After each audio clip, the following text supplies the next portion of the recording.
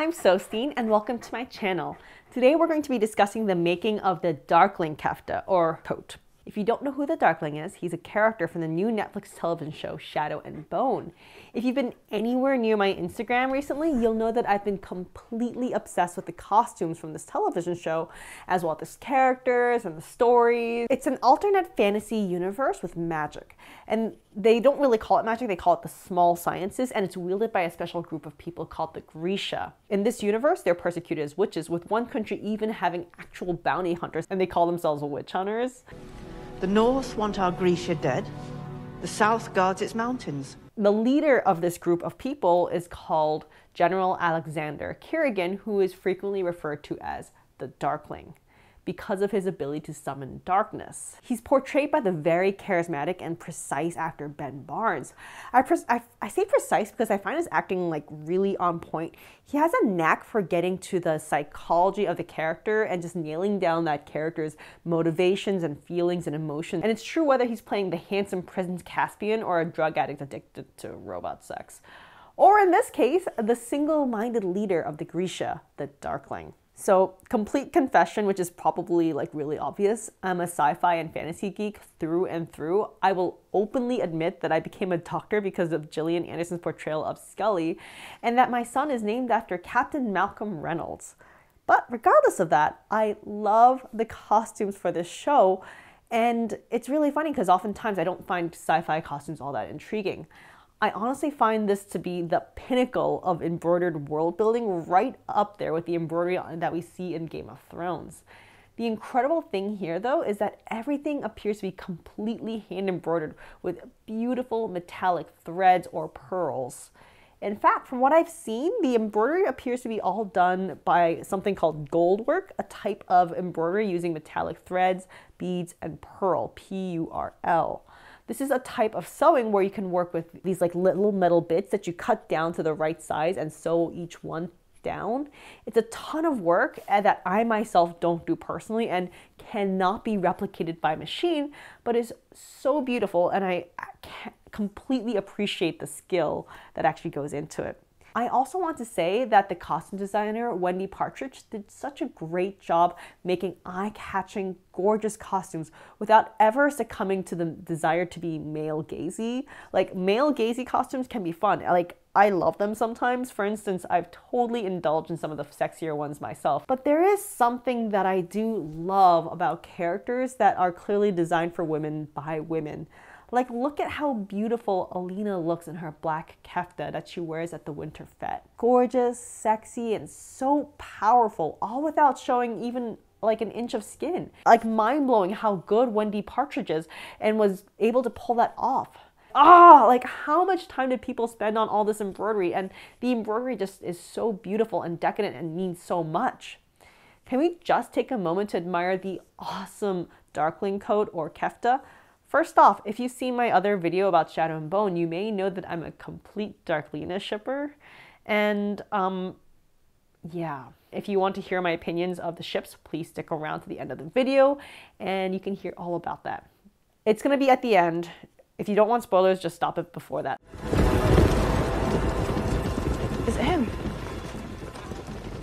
General Kirigan. And the moment I saw Ben Barnes get out of that carriage in that fully embroidered coat and kefta, he just like turns around and you're like, oh. I honestly turned to my husband and said, You're getting that. And to his credit, Matt, my husband, literally just said, I know. So, Ivan, my kefta. Let's take a moment to just admire Ben Barnes and all his darkling goodness. The Darkling outfit is an ankle-length kefta or coat with two vents, one on each side and none in the back as far as I can tell, with embroidery along the front, back, collar, and cuffs. The embroidery, I'm pretty sure, is designed to look like Merzost tendrils. Merzost is the magic in this universe. And you can kind of see it when the Darkling, in the Darkling flashlight, you can see it creep up his neck a little bit. So it's dangerous and gorgeous, almost viney sort of look. I love the black on black embroidery, which actually, if you look close up, is like purple and gray, but I did not actually realize that until after I finished my embroidery, so whoops. And personally, I think there's nothing sexier on a man than piles of luscious embroidery. It's either that or a crisp 18th century linen shirt, so you know, it's one or the other. Underneath this, he does wear a leather jerkin type outfit, except with long sleeves with silver clasps. I do plan on making this one too, but I expect it will be the same pattern as a Darkling, except shorter, and I'll probably do that in another episode or just without an episode if it's too easy. Before I get too deep into studying the Darkling Kefta, I would like to take a moment to thank today's sponsor, who also kept me company while I did all of the hand sewing portion of this coat, Magellan TV. You'll notice that I do a lot of handwork when it comes to any project, whether it's sewing down the binding or doing hand rolled hems or just digitizing. The hand sewing portion is honestly my favorite part of any project, and I personally keep a cart full of things that need hand sewing at all times. It's actually really relaxing for me to do that after a long day of work. Just pick something up from that basket and just make it pretty and show even just the tiniest bit of progress on it. And I love having something good to watch while I do it. Currently, I'm really into documentaries. It's awesome getting interesting facts about history, science, or the world in a format that you can listen to mostly and then look up whenever you want to see a pretty picture. So it's a nice combination. And Magellan Television has so many different documentaries to choose from with over 3,000 in their collection, all from varied topics like the history of Russia, sharks, art history, and science. Currently, I'm watching Rome, Empire Without Limit, hosted by Mary Beard, who just is who is just such a sassy Roman historian. One thing I really love about her documentaries is that she really takes a focus on the individuals of the empire and what it must have been like to be just like a normal person in that time period, the way that Romans thought nearly 2,000 years ago. And the crazy thing about it is that they're not so different from people today and it's just such a fascinating documentary. But if history isn't your thing, they have a ton more. They also have documentaries on art, medicine, musicians, ancient world, and by some other incredible documentary makers such as Waldemar Januszczak, who you may know is just like phenomenal. Magellan is a new type of streaming service run directly by the filmmakers. If you'd like to try it, go to my description and click on the link to get a full month free trial. Thank you so much, Magellan, for sponsoring my video and for keeping me company while I sew. Now, after having been tragically forced to watch all of the Darkling scenes over and over again to study this coat, as well as spend a ton of time on social media to scour the different Darkling images from the producer, the actor, and the show, I believe this kefta is made very similar to all the other keftas, such as the one that I patterned in my last video. There are princess seams in the front and the back, and the skirt piece is a separate piece from the top with a dart sewn in. However, the big difference between the way that I believe that the original coat was constructed versus the way that I plan on constructing mine is that I plan on embroidering the fabric itself directly. I personally don't believe that they embroidered the fabric directly, but rather it was done by a applique method. So basically what you do is you embroider, do all the embroidery separately, most likely on a very thin silk or cotton, and then those pieces are then carefully cut out and sewn onto the coat as appliques. This method is very commonly done in TV shows and movies because it allows multiple people to work on the embroidery for one item at the same time and then combine it at the end rather than have one person sit and embroider just one piece, which can take forever and it will be much slower. So I think this makes sense for a production like shadow and bone when you have so many different embroidered things. If you look at social media pictures of different keftas up close, you can see a thin outline around the embroidery, which is where they likely cut the silk or cotton netting out.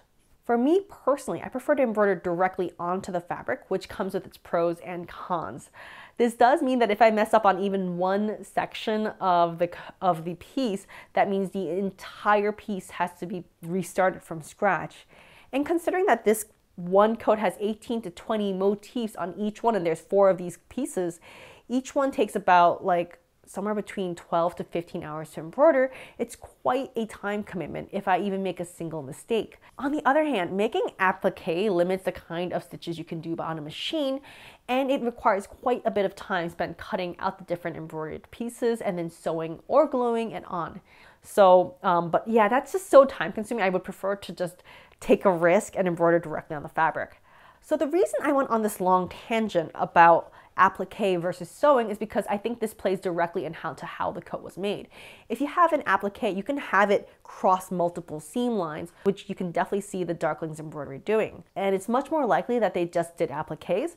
So that explains how they were able to have the Darklings embroidery go across multiple seams at the waist, at the top, at the bottom, and even across darts. But that would make it really difficult for me to do with my embroidery machine when I'm sewing directly. So instead of having a waist seam, I decided to just nix the waist seam and just extend the princess seams all the way down so that I have one solid piece of wool to embroider on. It's a huge design change, but I felt like this was necessary for my own personal sanity. And honestly, it's black on black. I don't think anyone's gonna notice unless they really, really want to. To start, I need to pattern the kefta.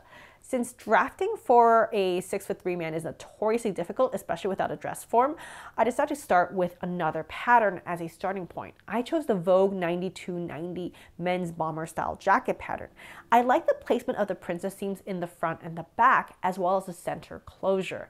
So I got this and made it a short jacket so I could um, put it on top of Matt and just fit it. Once I liked the fitting for the top, I then made a second muslin, this time extending the length of the jacket bottom, flaring it slightly for better movement, and made a second muslin. Once I knew I liked it, I then scanned in the front and back center pieces onto my computer so that I would know how to place the designs. Meanwhile, I was digitizing the Darkling embroidery for the past month or so.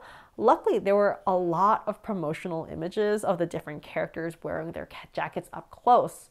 The Darkling one actually gave a really phenomenal view of the coat embroidery, so I simply used this with the contrast turned way up to digitize. And I was really enraptured by the different intertwining branches. So I really tried to keep the layered look of the different like strands of Merzost like layered on top of each other. I stitched it out onto some cotton fabric after I digitized it, just some scraps just to see how it looked using metallic threads. Now the original coat on the TV show looks like it was done with the metal pearl embroidery which I mentioned. It has a very distinct like liney quality to it and I want to try to capture that look.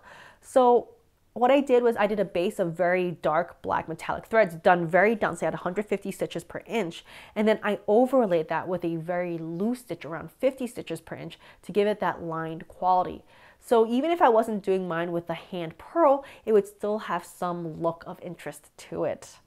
Once that was decided, I ended up making around three different versions of the Merzost branches. There appears to be at least two repeats of the larger Merzost design, one on each side of the chest, and then a smaller one below it, and a trail of very small ones that just go straight down. I did some stitch outs to make sure I loved all of it and then placed these three different Merzost designs into the scanned in pattern of Matt's coat pieces for the front and back. While I was digitizing this, I had just gone ahead and bought about eight yards of some beautiful wool broadcloth from W.M. Booth Draper. I then traced out the front and back pattern pieces onto the wool using chalk and then stitched out the coat pieces.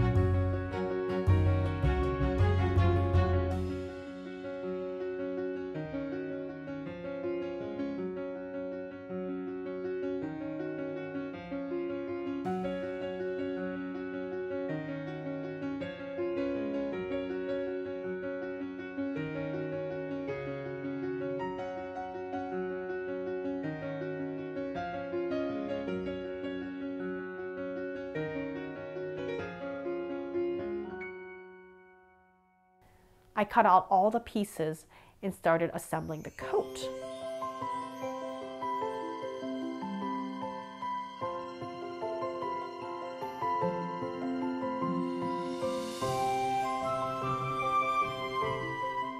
I sewed together the front of the coat to the side fronts and the back to each other and the side backs, being sure to iron open all the seams.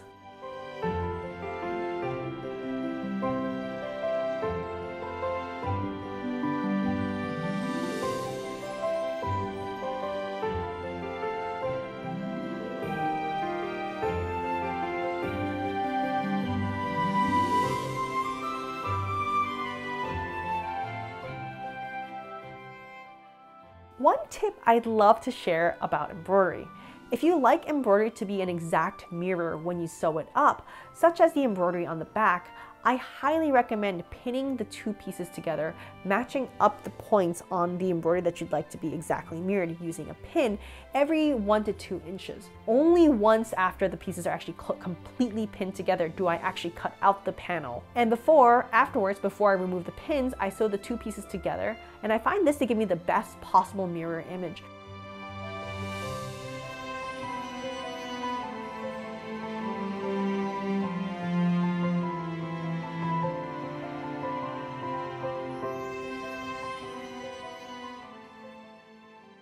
Afterwards, I sewed the front to the back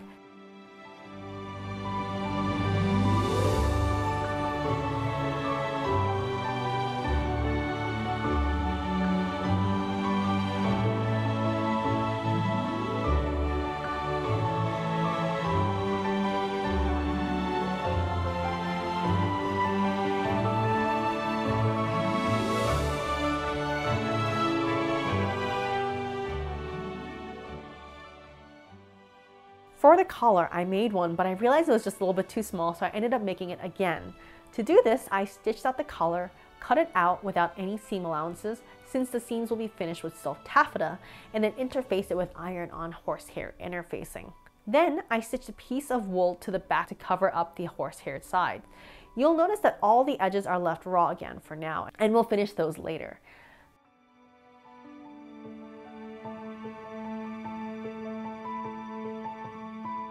Now the nice thing about wool broadcloth is that the edges don't really fray, so I really didn't have to finish this or line it. However, I do know that my husband has a tendency to sweat a lot, so I did want to line it with linen, even though it wasn't necessary.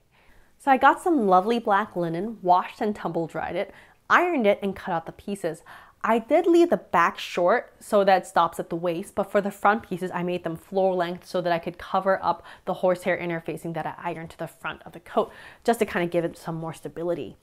I sewed the whole thing up and then I tucked this into the wool exterior, wrong sides together, right sides out, and I lined up all the seams and all the edges and pinned them together. I then used a 3 8 inch seam allowance to baste all of the edges together on all the pieces. Meanwhile, while I was embroidering, I had made some black silk taffeta like tape. I wouldn't call this bias tape, it's just binding. Since it's two and a half inch wide silk, cut selvage to selvage, it's not really bias tape. I sewed about six of these together, seam, um, selvage to selvage, and ironed open the seams as well as a half inch seam allowance along one long side. Now looking at the original Darkling coat, there's an edge of what appears to be silk binding along every edge. After experimenting with a ruler and my husband's head, I chose to make mine about three quarters of an inch to finish mine. I got the silk binding I had made and pinned it right side together all along the edge that was already, that was unfinished. I then sewed all of these together all the way around on my Baby Lock Soprano. Here's a nifty tip for mitered corners with a machine. What you do is sew until you're about half an inch away from the corner. Then you cut, then you cut, like go back and forth on the stitch, end it, and then cut it. And you get your silk tape, hold it at a 90 degree angle away from the fabric and fold it again, this time towards the fabric. Then you can continue your machine sewing about half an inch away from the edge again. Afterwards, you'll have to tack down the corners by hand, but it'll give you a really crisp mitered corner even with the machine. So I did this all the way around, which took some time. Afterwards, I ironed the seam open and then folded the silk tape binding around the raw edge and pinned it to the opposite side. I sewed this part down by hand while going through a fantastic documentary about suffragettes from the turn of the century.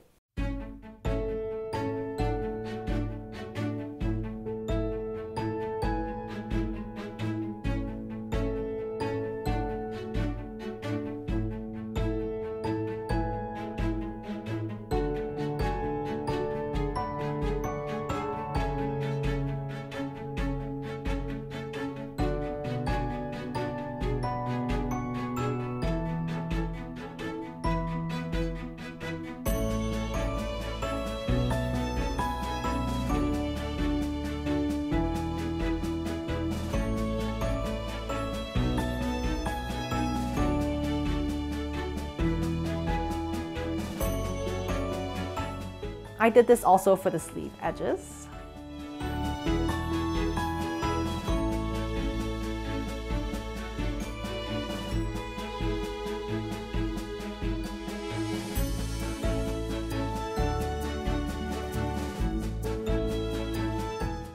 believe it or not, after this, I was done. There was no closures on this as far as I can tell, which was amazing. I hate doing closures. Now, I do want to add that this this is not the whole outfit, obviously. I also want to make the undercoat or the jerkin or whatever that is that he wears underneath. I've already gone ahead and ordered some clasps from Amazonian Cosplay because she makes some beautiful stuff. But I'll hold off on making this for another day. But even without that, I still wanted Matt to just try on the coat. And if we're gonna have him try on the coat, I might as well edit him into some scenes.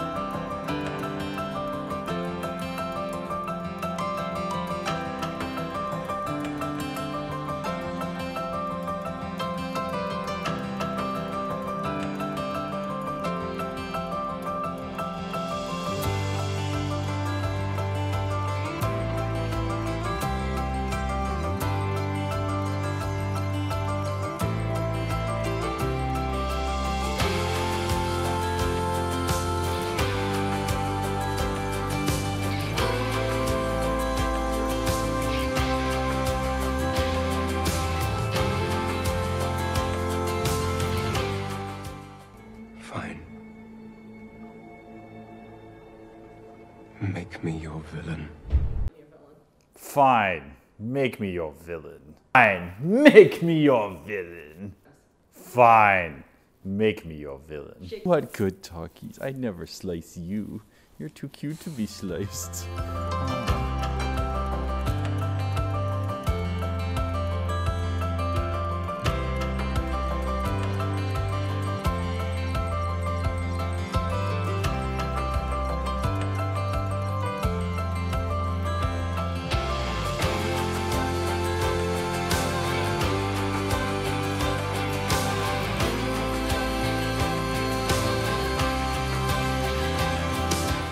In any case, thank you so much for joining me in today's journey.